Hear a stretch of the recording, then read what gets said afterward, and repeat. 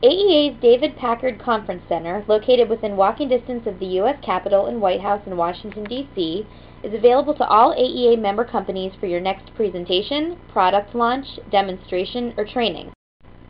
The DPCC includes state-of-the-art audio and video conferencing equipment and is the perfect location for you to host federal government and other Washington, D.C. clients. The conference center's 1,800 square feet can accommodate up to 80 guests and is easily accessible by the D.C. Metro.